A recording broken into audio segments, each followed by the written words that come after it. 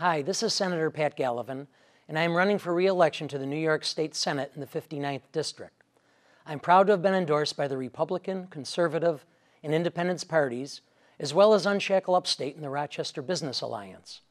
As a small business owner, former New York State Trooper, and Sheriff of Erie County, I understand the issues that are most important to the families, small businesses, and taxpayers of Western New York.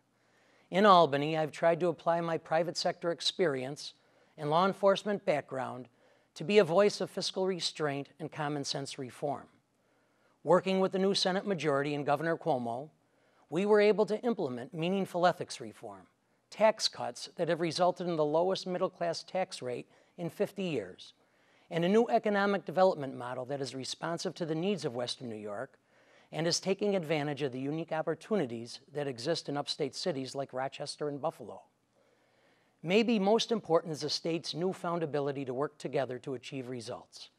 Just as late budgets were symbolic of dysfunction, on-time budgets are a sign that Albany is working again. The past two budgets have reduced spending while holding the line on taxes and shrinking the size of government. This recent progress is just the beginning of what is necessary for New York to reclaim its title as the Empire State and truly become open for business.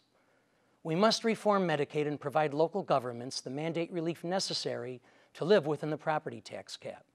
We must continue to fight for equitable funding for our most vulnerable students and schools.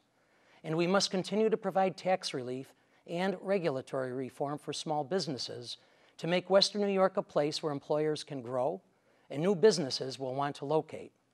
With your continued support, I promise to work every day to realize these goals and to advocate for the families and future of our community. Thank you.